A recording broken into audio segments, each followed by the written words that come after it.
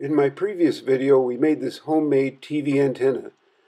Now I'll show you how to connect it to your TV and how to configure your TV so it can receive antenna TV signals. Your homemade TV antenna connects to your TV with a standard coaxial cable. You can use either an F-type twist-on connector, like the one on the left, which has a screw thread, or you can use the old-style F-type push-on connector, like the one at right, which simply slides on the plug. The twist-on connector simply threads onto the balun or plug. The push-on connector simply slides on.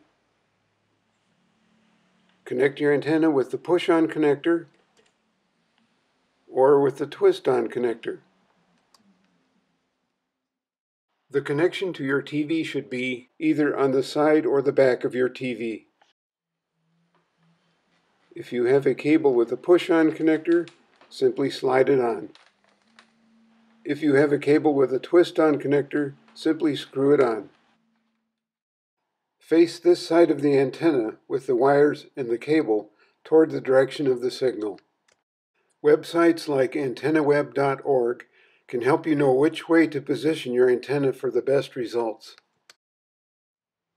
Turn on your TV Using your remote, select Input and make sure it's on the DTV slash TV or TV setting.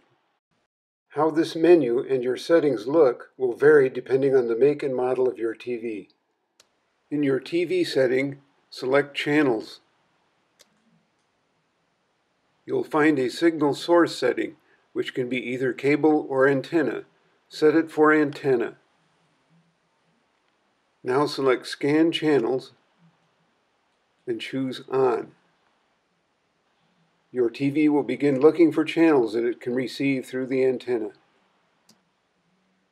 Your screen will list the channels it finds. Once it's done, you can simply exit the menu and scroll through your channels using your channel button on your remote.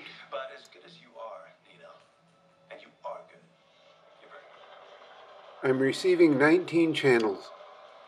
If you're not receiving a lot of channels, you might want to reposition your antenna.